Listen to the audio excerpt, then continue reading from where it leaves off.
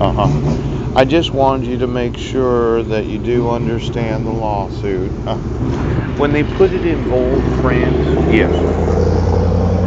Uh, it is only law enforcement that is able to actually serve the weapon surrender form. Yes. But you didn't do that. Pooh. And um, I'm suing you for serving a form on the respondent. Yes. That the individual had no legal right to serve. and then uh, endangering those around me that witnessed it. Yes. now, um, just so you understand that the protection order. Yes. See, the clerk of the court shall also forward a copy of this order on before the next judicial day. Yeah to the Clallam County Sheriff's Office. Yes. Or it could have been the city, though I wasn't living in Sequim at the time of this court service. Yes. Mm-hmm.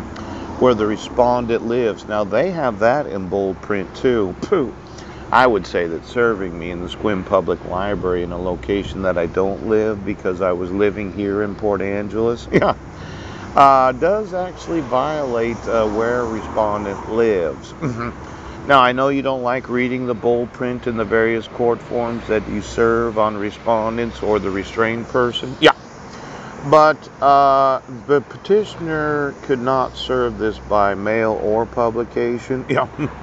See, you didn't mail it to me. No, you didn't put it in publication. Mm-mm. Petitioner shall make private arrangements for the service of this order. Uh, you didn't mark that box. Right.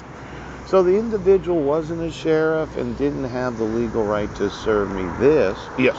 And sure didn't have the legal right to serve me the weapon surrender form. Yeah. Because in bold print it says that only law enforcement can serve an individual. Yes. The weapon surrender form. Oh. Now, I'm wanting to use that judicial system of the United States today, and I'm thinking that I'm being obstructed from spending money on my family because you don't want me to sue you. Yes. oh, my goodness.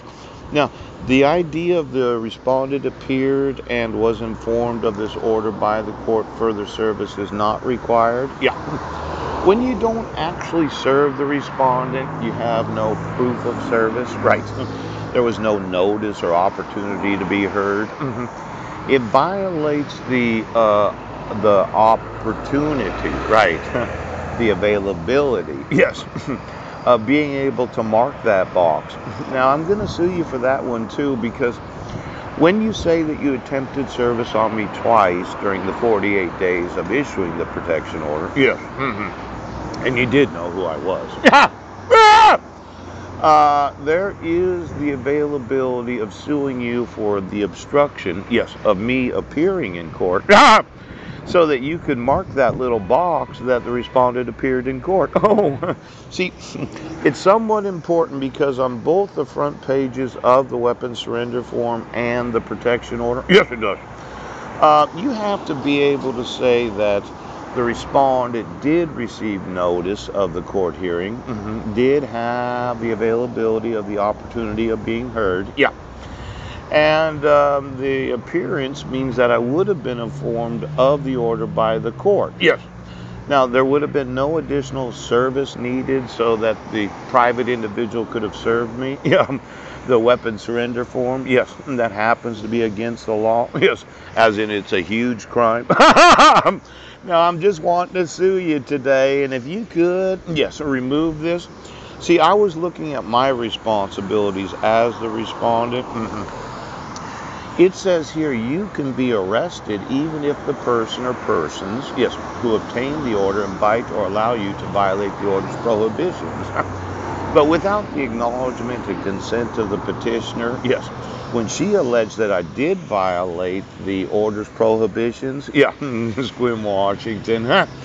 You know, I think it actually violates the disclaimer, yes, in bold print to myself. now, I would need an attorney on this one, but how can you violate the order's prohibitions, yes, without the acknowledgement of the petitioner? Yeah. And how could you say you violated the order's prohibitions, yes, without being in the city of the alleged violations of the order's prohibitions? Yeah.